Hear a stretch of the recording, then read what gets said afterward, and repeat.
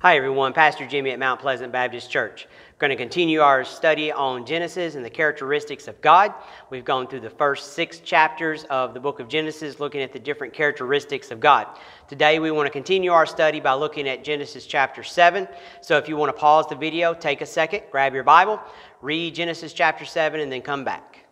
All right, now that you've had a chance to read Genesis chapter 7, we're going to continue our study looking at the characteristics and attributes of God. We're not studying everything that happens in the chapter, we're just looking at the different characteristics of God that we can learn from the book of Genesis in each chapter. So we've already gone through 22 different characteristics we've seen in God in the first six chapters already.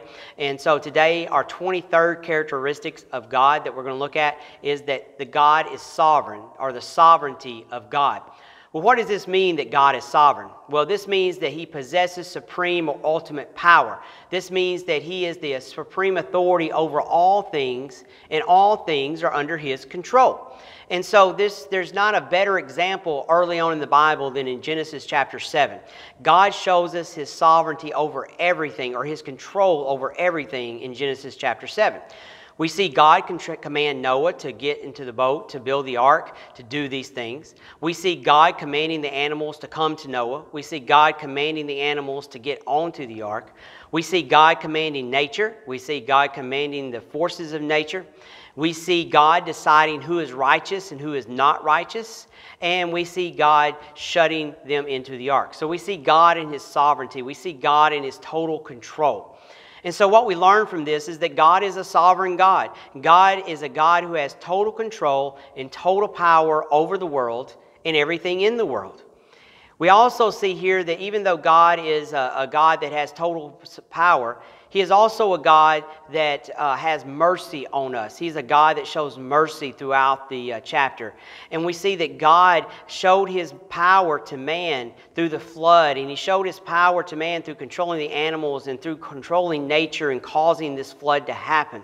But we also see him showing mercy to man by saving Noah. By saving uh, Noah and his family, he showed mercy upon mankind. He didn't completely destroy all of mankind. We see God as we look throughout the entire Bible, we will see God as a sovereign God. We will continue to notice and understand and see Him show His sovereignty throughout the Bible, His absolute power. He'll show it to people throughout history, and He still shows us today that He is sovereign, that He has absolute authority, and He has absolute power in our lives today. If you notice here, everyone was submissive to God. Noah, the animals, nature, it didn't matter who it was.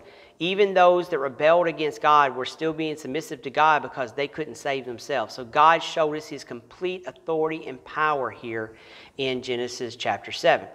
The next thing we see in Genesis chapter 7 is we see God as being the protector. We see God as protector. Genesis chapter 7, verses 13 through 16 says, on the very same day, Noah and Noah's sons, Shem, Ham, and Japheth, and Noah's wife and the three wives of his sons with them entered the ark.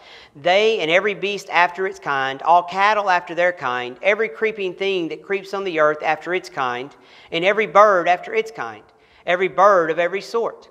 And they went into the ark to Noah, two by two, of all flesh, in which is the breath of life. So those that entered, male and female of all flesh, went in as God had commanded him, and the Lord shut him in. We see God shutting the door on Noah, his family, and all the animals.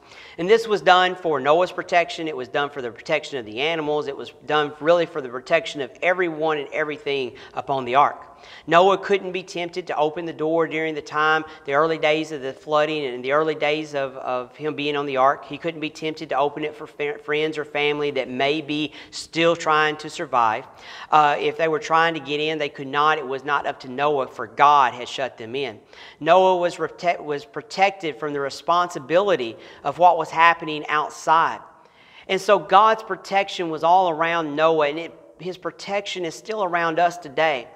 I know sometimes it's hard for us to see God's protection with all the things that go on in our life, all the troubles that we have.